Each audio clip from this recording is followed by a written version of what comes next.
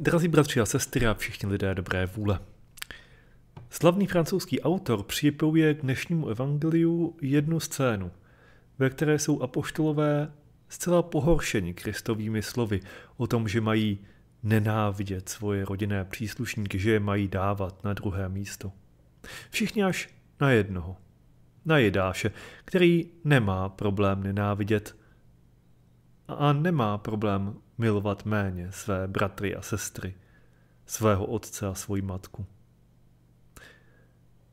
Tuto scénu tam připojuje kvůli tomu, aby nám jednou provždy bylo jasné, že touto výzvou Kristus nemyslí, že máme milovat méně, ale že máme milovat lépe. Poněvadž pokud z nějakého člověka učiníme střed svého života, dost možná té osobě zalichotíme. Pokud z nějakého člověka učiníme střed svého života, určitě té osobě ublížíme. Nikdo pod božím nebem nemůže naplnit bezednou touhu tvého srdce. A pokud není tvoje bezedné srdce uspokojeno, začneš být smutný a nešťastný a začneš obvinovat.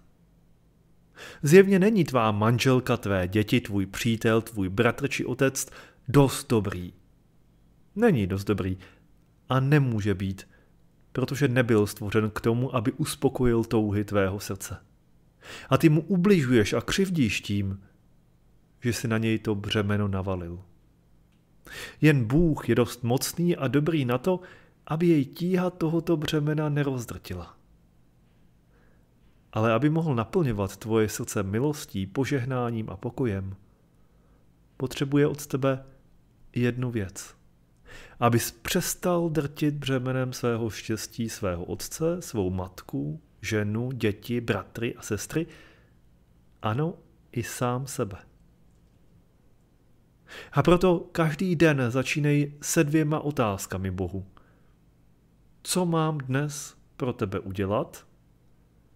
A čeho se mám dnes pro tebe vzdát? A budeš služebníkem, učedníkem a milovaným dítětem toho, kdo vyměřil dráhy hvězdám. A co víc, budeš milovat lépe, jak Boha, tak bližního. Pokoj Kristův ať zůstává vždycky s vámi.